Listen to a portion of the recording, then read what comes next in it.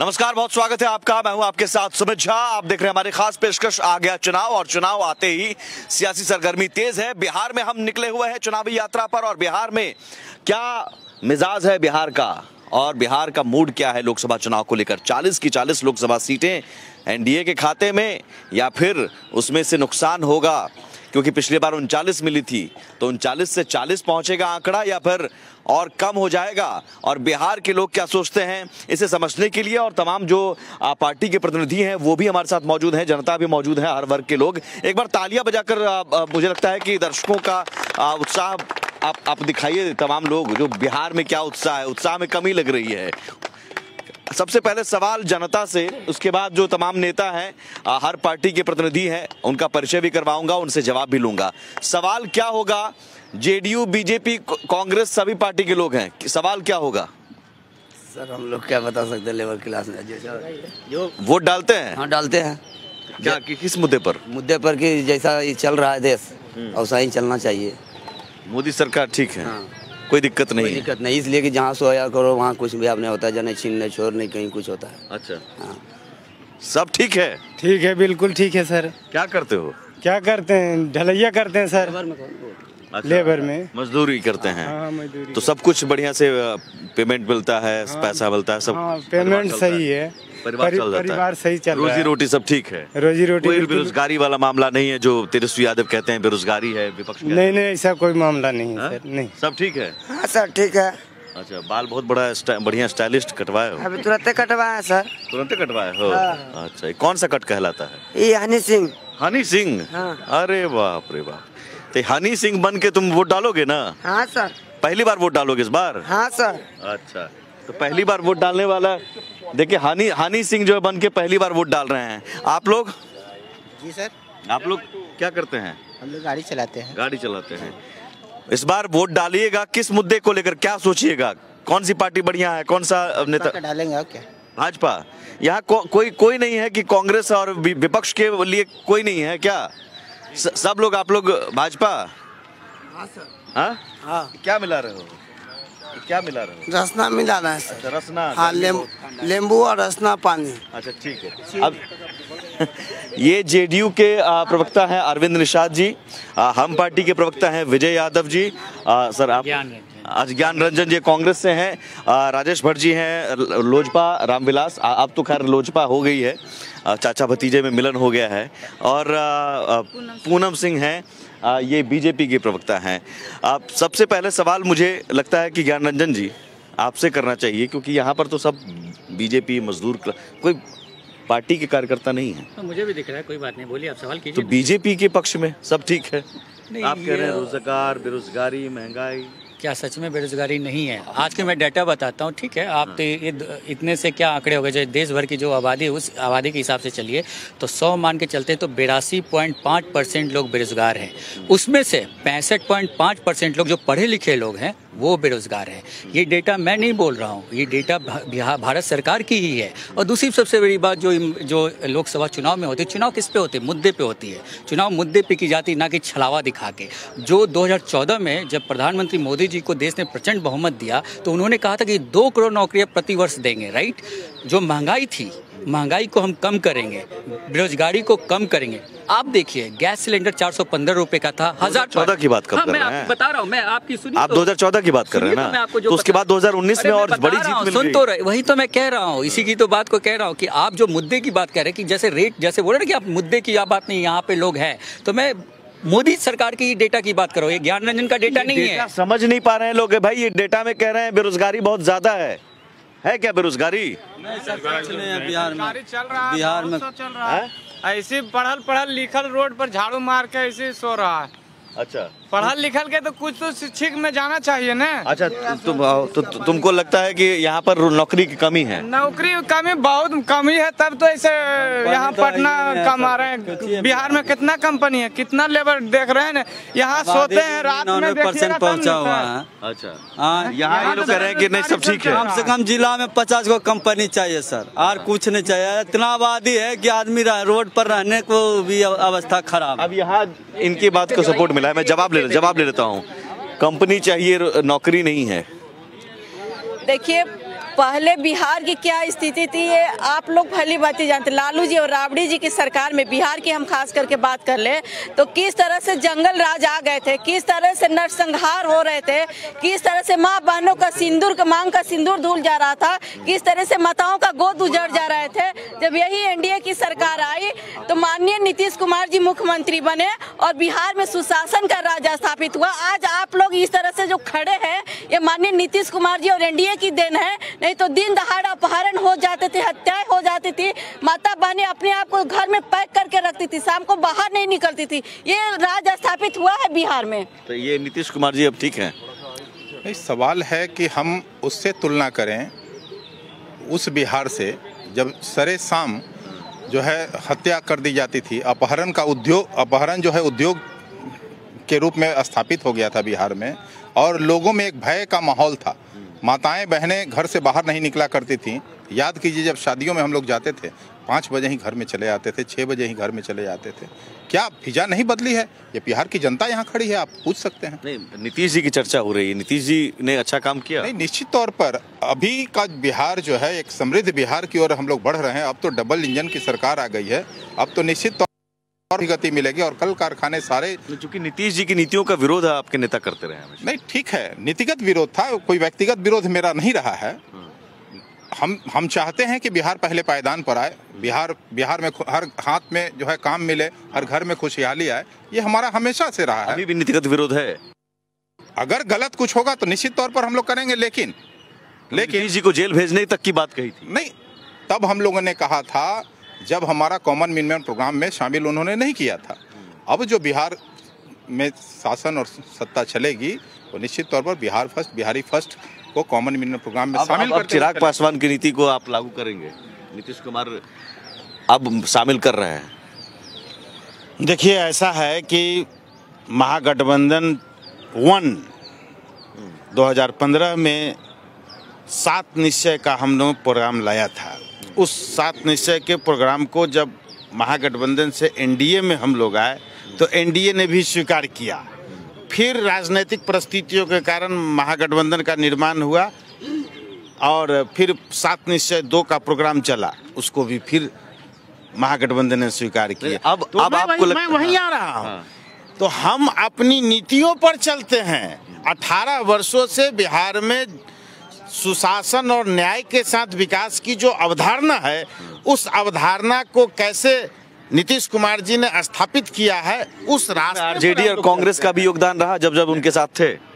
भाई मैं तो कह रहा हूँ कि हम जो एजेंडा सेट करते हैं हम जो एजेंडा लेकर के चलते हैं उस एजेंडा पर हमारे साथ विभिन्न दल के लोग आते हैं। मुख्यमंत्री तो 18 साल से नीतीश कुमार जी हैं। तो उस ना, वही है। सहयोग बीजेपी का भी रहा आरजेडी और कांग्रेस का भी रहा। कोई कोई पार्टी हमसे अलग होकर के अपना विचार प्रकट नहीं किया। जब भी शासन आज भी ये पर कायम है जबकि महागठबंधन में साथ आरजेडी आरजेडी वाले कहते हैं कि हमने नौकरी दी है। तेजस्वी यादव कहते हैं हमने नौकरी दिया हाँ देखिए ये नौकरी देने का प्रोग्राम और एजेंडा सरकार का होता है।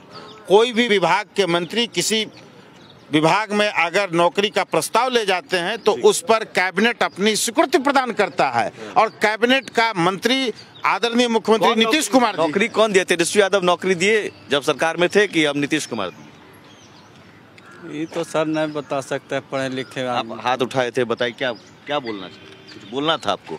बोलना था तो हमको चाहिए सर बहुत ही लोग यहाँ बिहार में मर रहा है आधा से बेसी मर रहा है। अच्छा। इसके लिए हर जिला में पचास गो कंपनी चाहिए।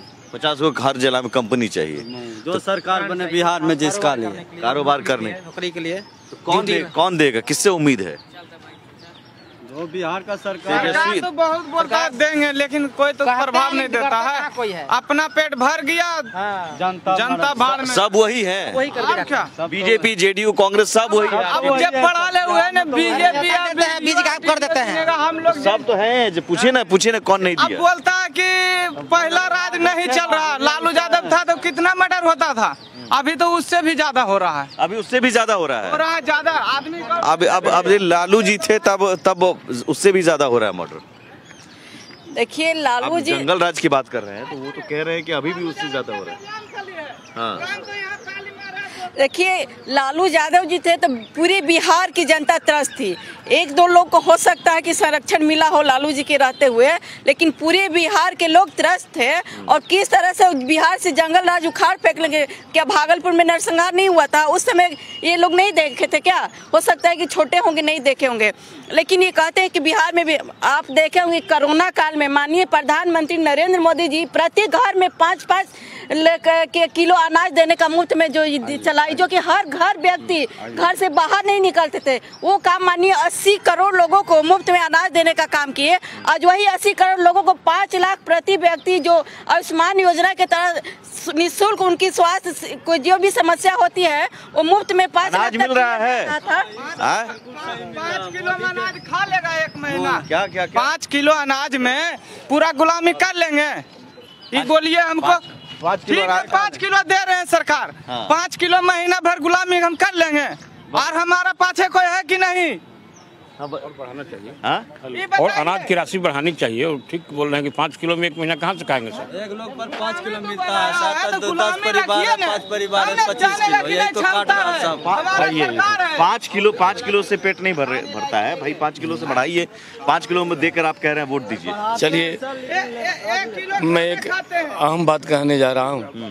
विगत आने वाले जितनी भी स्थितियाँ पैदा हुई आज वर्तमान की स्थितियों में चुनाव का माहौल है मैं उन सभी व्यक्तियों से कर, मैंने मैंने निवेदन करता हूँ कि अपनी व्यक्तित्व की अवधारणा को सच्चे प्रत्याशी के रूप में आप अपने समाज के हित के लिए काम कीजिए, चाहे वो किसी दल का हो। लेकिन रह गया चुनाव का माहौल है, सब लोग कह रहे हैं कि मैंने किया मैंने किया मैंने किया मैंने किया। अरे यार, क्या किया तुमने? वही काम किया जो अपना जेब भर गई और जनता इस साला लोग ऐसे ही सब यही कर रहे हैं। सब यही कर रहे हैं। सब यही कर रहे हैं। सब यही कर रहे हैं। क्यों? मैं इसलिए कह रहा हूँ कि अगर अच्छी व्यवस्था होती तो ये स्थितियाँ पैदा नहीं होती पूरे बिहार में। पहला नंबर है कि तो पूरा सवाल जितने भी पार्टी के प्रतिनिधि हैं आरजेडी को हमने बुलाया था आरजेडी वाले नहीं आए अलग बात है। सब यही हैं। सब जेब भर रहे हैं। देखिए जेब भरने की बात ये लोग कहते हैं, बिल्कुल गलत करते हैं। 140 करोड़ जनता को यदि जो लोग कहते हैं कि हम बेरोजगार हैं नौकरी देना संभव नहीं है। देखिए माननीय प्रधानमंत्री ने और नीतीश कुमार ने बिहार में एक से एक रोज़गार देने का काम किया है। प्रधानमंत्री ने देश में अनेकों रोज़गार देने का काम किया है। ये लोग गरीब लोगों को पाँच किलो अनाज भी देना मुफ़्त। पा, पाँच किलो में क्या कर लेंगे? ठीक है पाँच किलो अनाज इनको ये नहीं निकम्मापन के लिए नहीं दिया जा रहा। पाँच किलो अनाज इसलिए दिया जा रहा है कि जिस दिन इनके काम नहीं मिलेगी नौकरी काम पर नहीं जाएँगे किसी कारणवश कम से कम घर में अनाज रहेगा तो इनके पूरे परिवार खाएँगे।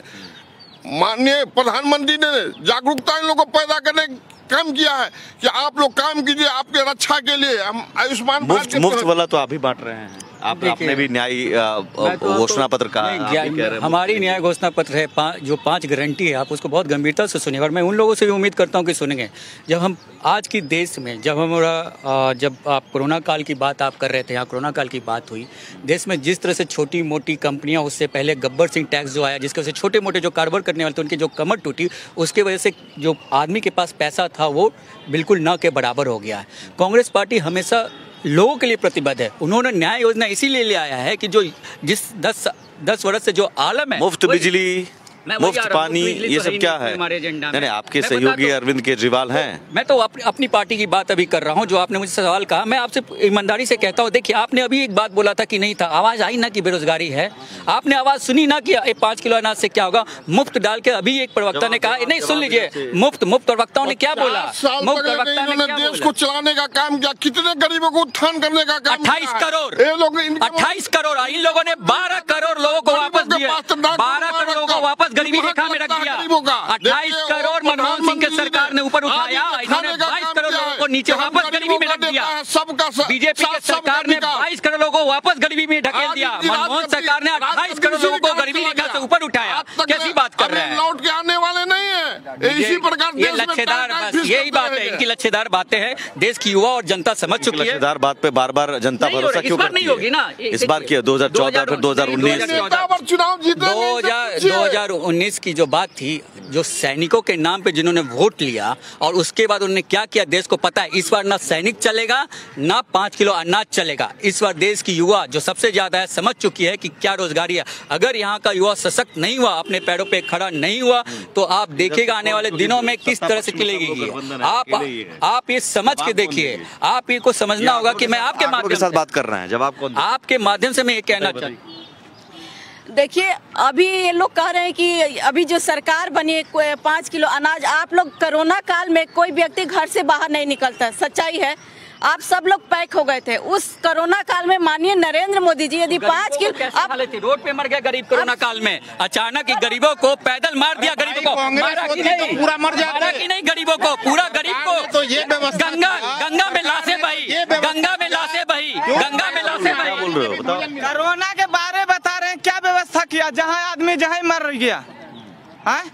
ये लालू यादव रहता कहता रुको हम गाड़ी भेजते हैं। अच्छा। पूरा ट्रेन फ्री रहता। देखिए यही तो हैं। बताइए बताइए। हेलो। लालू यादव जी रहते तो ट्रेन फ्री कर देते। ये भाई काहे के लिए ये सब बात में भर मारे हैं? ये लोग पंद्रह वर्ष उन्होंने भी राज की पैंतीस वर्ष कांग्रेस ने भी राज किया। कानून बनाया ठंडा बस्ता में डाल दिया। अंतर यही है कि माननीय प्रधानमंत्री नरेंद्र मोदी जी जो भी कानून बनाते हैं जो भी नियम बनाते हैं उसको सख्त सख्ती से लागू कितने चुनाव आपने देख लिए हैं आप समझिए हम इक्यावन में मेरा जन्मदिन है आज तक हम जिंदे हैं अब तक के चुनावों में बदलाव क्या आया? देखिए वो जो पूर्वी की चुनाव की व्यवस्था थी उसमें और आज में बहुत अंतर है अब धन बल बाहुबल ये सब ज़्यादा होने लगा है अब। अब अच्छे लोगों की राजनीति खत्म हो गई। अच्छे लोग ये हर पार्टी में है। ये हर एक पार्टी में हर एक पार्टी में नहीं है। हर एक पार्टियों में ऐसा है। अच्छा। और आप एक देख लीजिए बिहार कल का बिहार और आज का बिहार के देखिए। कोई आदमी देख ले कि नीतीश कुमार ने माननीय मुख्यमंत्री बिहार में क्या किया है विकास का काज और माननीय प्रधानमंत्री नरेंद्र मोदी ने नीतीश कुमार जी इधर उधर क्यों चले जाते हैं फिर? देखिए ये तो मैं नहीं कह सकता हूँ। ऐसा कर ऐसा तो नहीं होना। बताइए ऐसा नहीं होना चाहिए ना। थोड़ी बोलिएगा। मुख्यमंत्री नीतीश कुमार जी पर कोई आरोप दिखा रहे हैं। है। बीजेपी बेदाग छवि के राजनेता हैं। अब लेकिन वो कह रहे हैं इधर उधर नहीं जाएँगे। माननीय मुख्यमंत्री नीतीश कुमार जी और देश के आदरणीय प्रधानमंत्री जी बेदाग छवि के राजनेता एक हैं। मिनट, एक मिनट, इन लोगों के मैं ये कार्यकाल पर कोई आरोप हेलो। नहीं है। और और और ऐसा है कि इन लोगों के कार्यकाल में ही जनता लगातार ऐसा है जता रही है। देखिए एक अच्छा व्यक्ति काम करने वाला जब कभी भी कहीं रहता है वो सर्वप्रिय होता है और सबके लिए हितकर होता है। लेकिन मैं ये कहना चाहूँगा निकम्मों के लिए काम कहाँ से देंगे? जो काम करना ही नहीं चाहेंगे ये, ये मोदी सरकार में कितनी दुकान खोले अगर ये एक हज़ार दुकान करे और दस दस आदमी काम करता है तो दस हज़ार के आदमी का काम होता है। कोई वास्तविक वाय को कहता है कि कम होना चाहिए मैंने दामों कम होना चाहिए सब क्लोज करेंगे क्लोज करेंगे। अब की बार चालीस और आपका? देखिए बिहार की चालीस में कितना जल्दी मैं बता रहा बिहार में खत्म तो करो। रहा हूँ। 40 में कितना? बारह बारह बारह बारह बारह बारह बारह। इनके लिए। बारह इनको दे रहे हैं। हाँ चालीसों सीट चलिए ये तो बारह दे रहे हैं आपको भाई आप ज़ीरो दे रहे हैं। कुछ तो दीजिए। दे रहे हैं ज़ीरो। चलिए तो ये अपने अपने दावे लेकिन हम अगले पड़ाव पर कल मिलेंगे और समझने की कोशिश करते हैं बिहार का सियासी नब्ज क्या कहता है। फ़िलहाल सहयोगी कैमरा पर्सन पवन शर्मा के साथ मुझे दीजिए इजाज़त। नमस्कार।